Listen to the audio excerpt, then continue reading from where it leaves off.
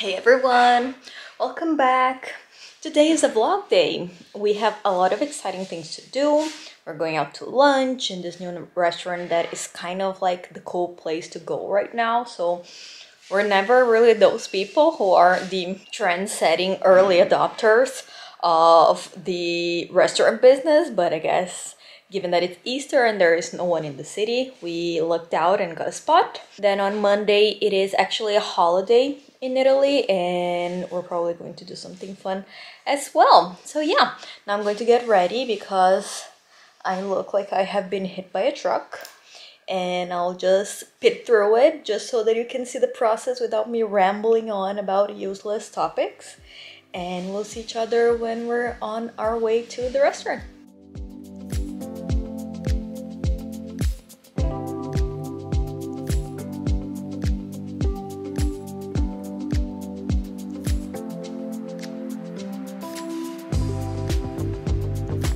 Alright you guys, I am ready. You guys are always asking me to show you kind of looks of the day and fashion journal, fashion diary, outfits, daily outfits and stuff like that. The reason I don't show them is because the only mirror, the only full-length mirror that I have is this one. And I hate this mirror so much it came with the apartment. It is uh, in our contract, so we can't even touch it. And it's an antique mirror that I cannot even clean properly. And you will see that it has these little kind of specks of antique kind of wear. It's like my clothes are dirty when they're not. So it really bugs me. This apartment is not ideal for creating content because you can see like all of our bags up there, my steamer. It's just very crammed. So that's why I don't show you. So tell me in the comments down below if this bugs you or if you don't care and it's just in my mind kind of those psychological self-conscious types of things that no one really cares about but you. So we're going out to lunch. I am wearing my shirt my oversized shirt with my white jeans which is a look that i actually showed you guys in my 10 essentials that i think you need to have. So you can see that i actually wear these pieces in real life. I'm wearing a very simple kind of fine gold necklace, some earrings. These earrings are vintage ones, very simple, very comfy because the restaurant is not really a chic, kind of elegant place.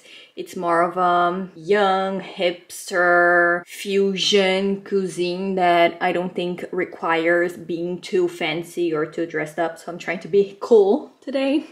For my shoes, I am actually not sure which one I would like to wear because I have these sandals that are kind of square-toed, which you guys know it's something that I'm not a huge fan of, but I like how thin and how low the heel is. It's also very minimalistic, so kind of great for just a very casual, simple outfit. And then I have these ones, which are fabulous in my humble opinion.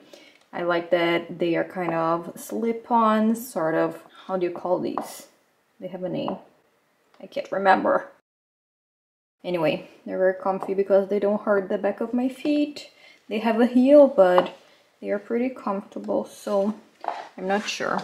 I think I might go with this little guy right here. Yeah, I could not be too cool. I had to add a little jacket. There you go. A little look. We're getting a motorcycle to go, which should be fun. And I'll take you guys with me.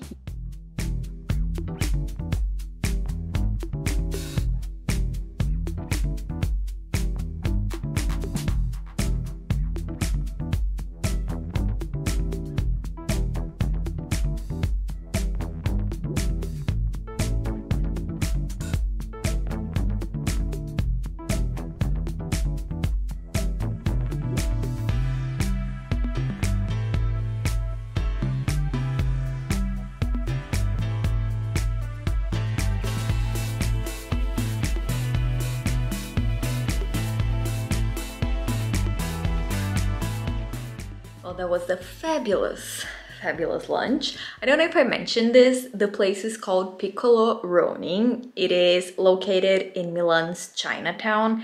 And I thought it was going to be fusion, but it's actually very kind of modern Japanese. A lot of classics that we love from Japanese cuisine that are not exactly like sushi or sashimi, more like baos and ramen and donburis.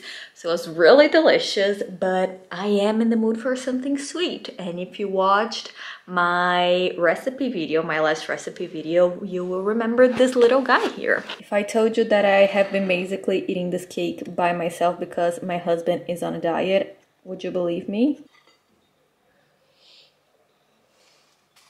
So now that we have eaten, I will basically edit. I will take this free time to edit the video that is going live tomorrow while enjoying a slice or two of cake.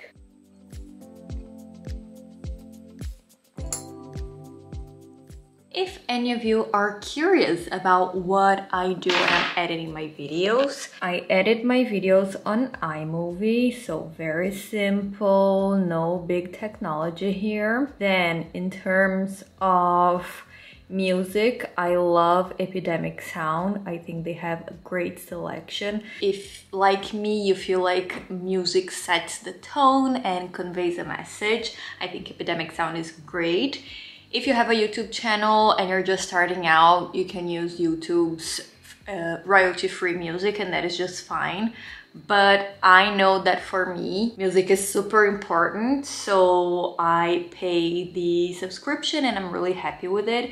You not only get music, but you also get sound effects. So if you want to enhance your videos, if you want to do a bit of a montage, it just adds that little touch. Something else that I use for my YouTube is TubeBuddy. So for tags, for description, for looking at competitors, not competitors, but for looking what other people are doing, stuff like that, it's great. So yeah, my little business expenses. Now that I have edited my video, I think I'm going to clean up a little bit actually because yesterday I started cleaning up the kitchen and I only managed to do a third of it because it was that dirty.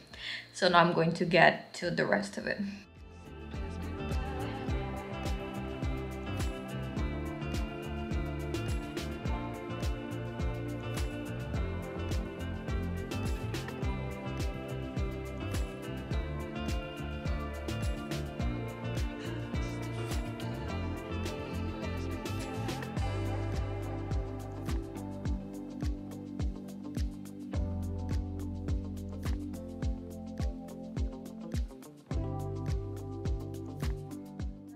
Well, I have been here for an hour now, slugging around, doing nothing, watching YouTube, and I thought that I would pay my respects to creators that deserve it starting with a YouTuber that I have been watching for a little while now. Her name is Charlie. Her channel is called Ask Charlie.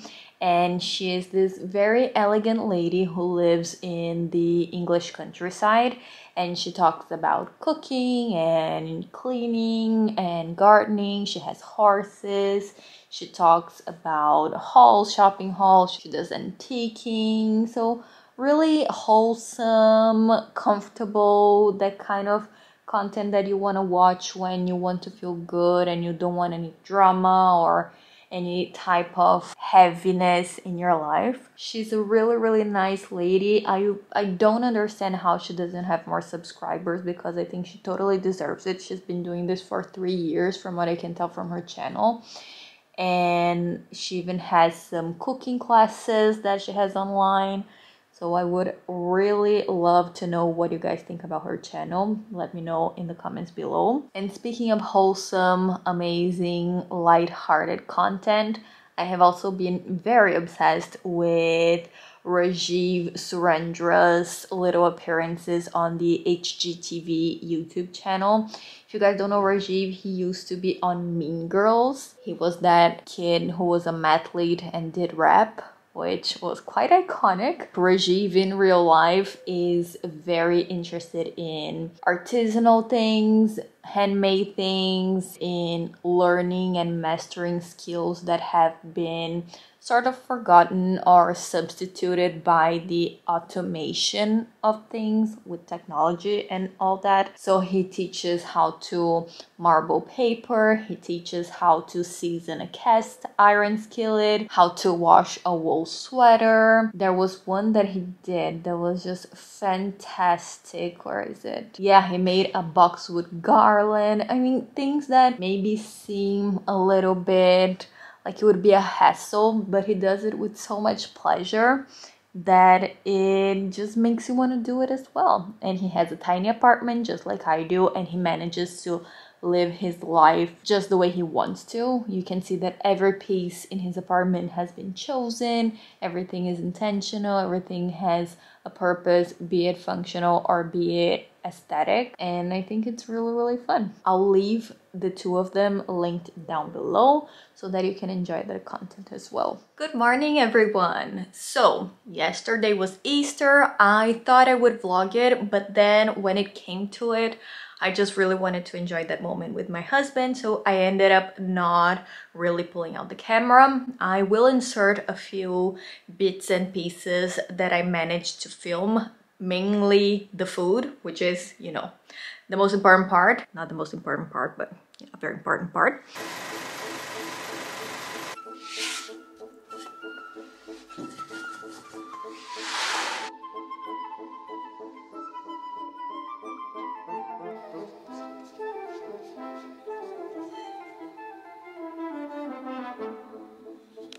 And then in the evening, we didn't do anything very interesting. We took a walk, went to the center of the city, to the Duomo, then came back watched a new show on Netflix that I'm really not sure if I like it or not. It's called Anatomy of a Scandal. If you guys watched it, let me know what you think. It is kind of like a thriller drama. I don't know. Not really convinced. I might watch a third episode just to see how I feel about it. If it starts getting too repetitive, I'll just abandon it and find something else. Today we have some fun things planned. We are doing a picnic. I am going to fry some chicken and make some sandwiches and we're going to go to the park and enjoy them with a glass of wine.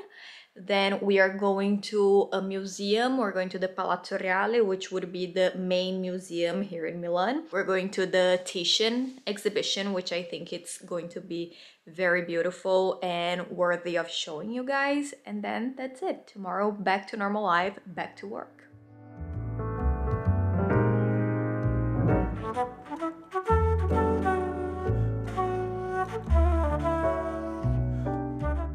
Are in the park and apparently a lot of people had the same idea as we did. Everybody just sunbathing, enjoying a day off in the park. I have the best picnic treat. A little fried chicken sandwich with mayo and lettuce. I mean, with that bun, can we die? Also have some wine because this is Europe after all.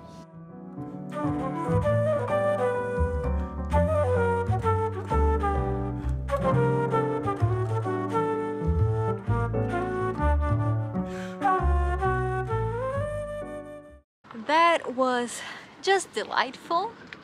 Now after a whole bottle of wine, let's look at some paintings. Hopefully I won't fall asleep in the bathroom.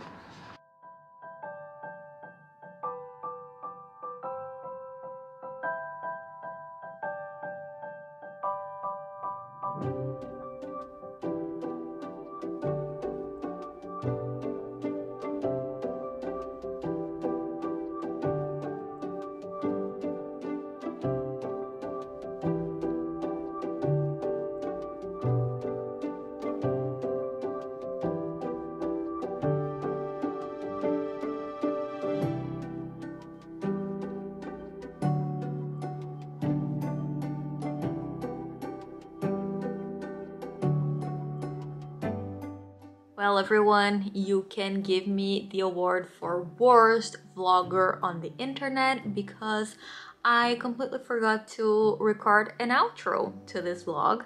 I was having so much fun and just enjoying the days that I guess I didn't want it to end. So in my subconscious, I didn't record the final part of this video. So here it is.